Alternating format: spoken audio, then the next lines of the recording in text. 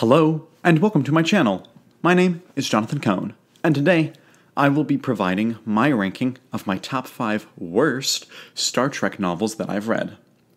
Uh, I've been getting back into talking about Star Trek novels, specifically doing rankings, because it's uh, I've read a lot of Star Trek novels since I made my first couple of Star Trek videos for this channel um, back in early tw- or back in late 2021, and so I, I am much more well read in the genre, and also I have a much larger audience now than I did then. It's almost over 10 times as large. So I want to do more rankings to try to get more discussion and try to bring more people into reading Star Trek. And I've done a video talking about my top favorite series from Star Trek. I've also done a video talking about my uh, favorite individual standalone novels. I think I had like a list of 10 standalone novels that were superb and or that were like the best that I've read. And I've read something over a hundred novels for Star Trek. I haven't done an exact count recently, but it's over a hundred novels of Star Trek that I've read. And I actually generally have a great time with Star Trek. I think that they have a really good batting average. But there are always the worst books. And I'm someone that I always bristle at the idea of doing worst of lists. Um, I always bristle at that because I don't want to be defined by what I hate in Star Trek uh, or in any fandom, and I don't want to be someone who just constantly bashes. Because, in fact, with many of the books present, I've actually read uh, books by those authors that I absolutely loved. Um, so I don't I don't hate the authors. I just think that these are some of the weaker Star Trek books that I've read. So this is my ranking of my top five weakest Star Trek books I've read. Of course, I've only read 100, and you might think that sounds like a lot. It really isn't because there's over 800 Star Trek novels. So this is nowhere near scratching the surface, and I believe I have done a good job cherry picking the types of Star Trek stories I wanted to read because I figured these are the types of stories I'm not going to enjoy, and so I've avoided those generally. Uh, but of course, there are always duds that you get to, so let's why don't we go ahead and talk about them? My number five uh, weakest or worst star trek book that i've read is a voyager novel called marooned by christie golden and my copy is falling apart because it was falling apart when i got it. And i feel bad giving christie this uh, this putting her on this list because i quite like christie golden. She wrote some amazing star wars books and she's also written some amazing Star Trek books, specifically some Voyager novels. Her novel Seven of Nine was very entertaining. Her trilogy, Dark Matter trilogy, I think is very entertaining. Uh, and her best books in Star Trek, by far, is her Homecoming duology, Homecoming and The Farther Shore. So she's written some amazing books before, and some just really pure entertaining books. And I thought that The Murdered Sun was fine. It wasn't a great book, but wasn't bad. And this book, Marooned, is sadly a not good book. Why is it not good? Because I like remember like nothing about the book. I remember the cover and and the, the the background of why the cover looks the way it does, but honestly, it's one of the most forgettable Star Trek books. It never stuck with me. Um, I remember the experience of it, but I don't remember details of plot or or, or details of um, character growth because there really isn't that much character growth. This is as you can tell, it's one of the numbered books for Star Trek uh, Voyager. This is when they couldn't really do anything major in the series, so they basically just said, all right, just write a novel where nothing really happens and just keep the universe just to keep everything the same at the end. So there's not much that changes in this book, and so it's just forgettable, and which is really sad. And that's why I really have not read many of the numbered Star Trek books because I'm so afraid of disliking them because of how nothing really happens. So that's that one, my number five. My number four, it's technically two books, but really they're like one big book if you put them together, and so that's why I'm including them. And that's a Star Trek, A Time uh, to Sow and A Time to Harvest, which, by the way, I bought all these online, and I got A Time to Sow, and I was like, this is a wonderful copy. I love it. Then I got A Time to Harvest, and I was like, this is a horrible copy. There's literally holes everywhere, and parts peeling off the book, and it goes the the, the spine is just horrible and the back is horrible, so I apologize for that. These two books by Dayton Ward and Kevin Dilmore are part of the Star Trek A Time 2 series. Now, the Star Trek A Time 2 series, I've reviewed uh, all of the books uh, in my kind of wrap up that I did of the whole series. I did a time 2 discussion. Um, but to put it succinctly, I thought the first couple of books by, uh, who, who is the author? By John Vornholt were okay, they were fine. And then I did not like these books at all. And then I read A Time to Hate and A Time to uh, Love, which were fine. And then I read the last three books. Uh, two of them by David Mack and one of them by Keith R. A. DeCandido. You have a time for war, a time uh, a time for war, and a time for peace by DeCandido, and then you have a time to kill and a time to heal by David Mack. Those were phenomenal Star Trek books. Like some of the best Star Trek books I've ever read are from the end of the A Time 2 series. So the Time 2 series has some amazing highs, and it has some okay moments, and sadly, this is the lowest part.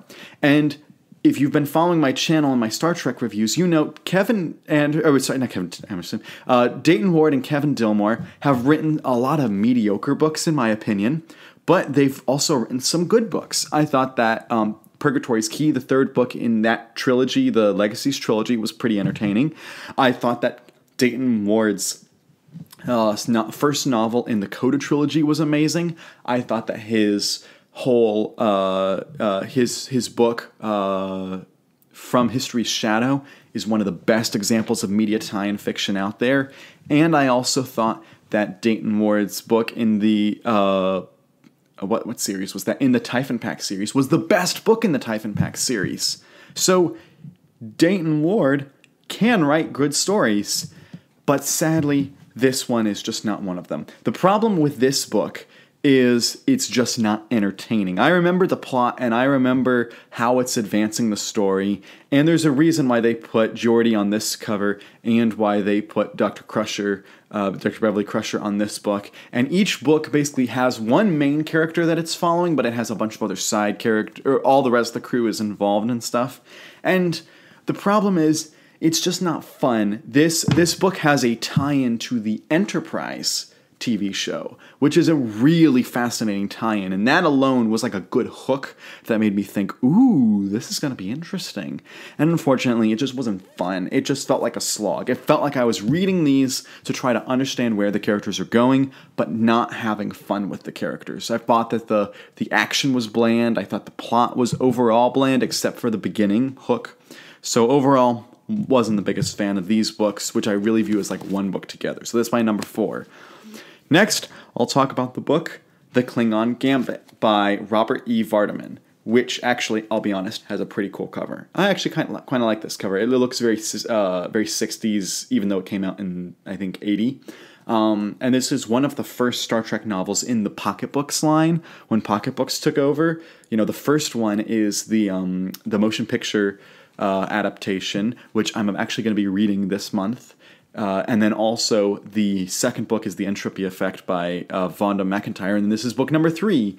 Uh, and so it's the third numbered book, and it's really short. It's like 150 pages, although it has really small print. So if you make the print the size of the print in these books, it's probably like a 200 to 220 pages. Um, this book, there's so many problems with it. One one of the problems, and I'm not normally a person that talks about this type of thing in when I'm reading books or reviewing books, but there's actually a disturbing amount of misogyny in this book.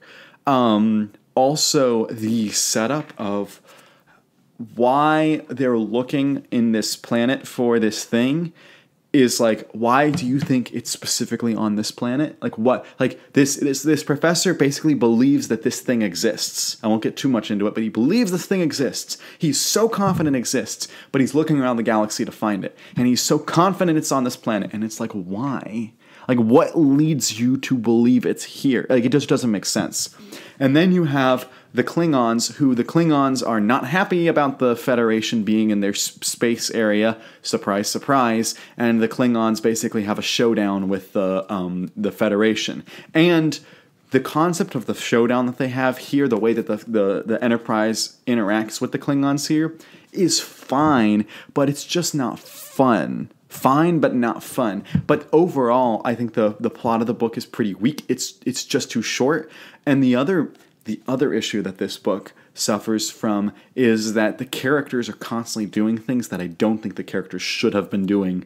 Like if if there's some authors that just get Star Trek and they just get how to write Star Trek characters, and then there's some authors that are there to write a book and they just maybe they watched a few episodes and had some fun with it, but they're not true Trekkies.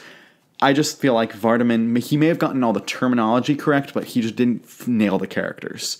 And that's why I think that the book is not that great. And I think the ending, while a shocking ending, is like, oh, what? Oh, I, I, I guess. Like, it, it shocks you for a moment, and then you're like, oh, that's it. Like, it's not, it's not a shock that makes you happy that you read it in that way. So, next, my number two worst book is I.Q. by John de Lancie and Peter David. John de Lancie actually was the actor who played Q, um, who I have a lot of respect for. I know he's good friends with Dan Wells, um, on, uh, one of my favorite authors, and of course he worked with Peter David on this book.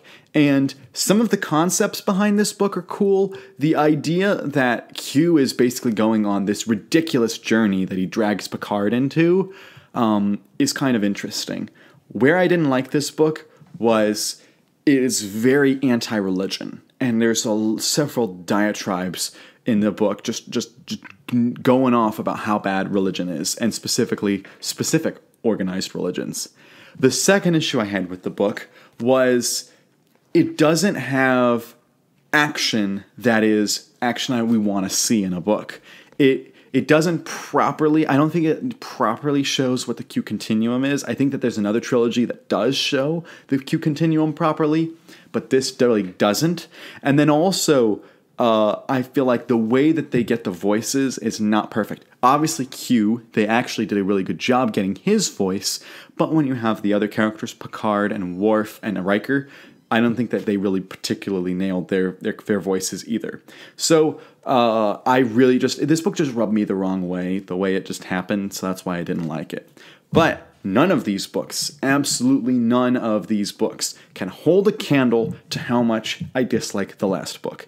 And I did a book review on this book, and I did not give it enough hate, and that is how much for Just the Planet. Oh, this book frustrated me. For one, it made promises it did not keep. It was not the proper level of satire. If you're going to satirize Star Trek, you have to nail the Star Trek elements. The problem is this book doesn't. Second of all, none of the characters, none of the characters felt like characters, particularly Spock and Kirk. Maybe McCoy felt a little bit McCoyish, but man, Kirk and Spock did not feel correct in this book. The other thing that really didn't work for this book was it was hard to track the action. It was just hard to follow.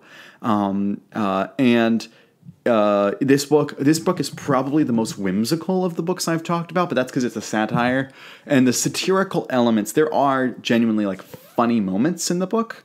And there was one sequence where they're breaking a character out of prison that I thought was quite comical. But on the whole, this author like the, it doesn't fit the mold of how Star Trek should be. The actors don't feel right. The settings don't feel right. The promises are not properly paid off in this book, and so just as a whole, it just doesn't work out. And so I really hated the process of reading this book, and I'm keeping it on my shelves because I'm a completionist and I want to have all the Star Trek books one day. But didn't did not like this one. So that is my ranking of what I think are the five worst Star Trek novels. Um, if you've read Star Trek novels, let me know what you, you, would be on your list. And of course, my list is just my list, and your list is just your list. It's uh, totally understandable. If one of my favorites is on your uh, your list of worst books, that's totally fine. And also, if one of mine was one of the books that I read is actually one of your favorites, I, I apologize. It's just how I felt about it. Let me know all your thoughts and comments down below. And until next time, I'm Jonathan and thank you for watching.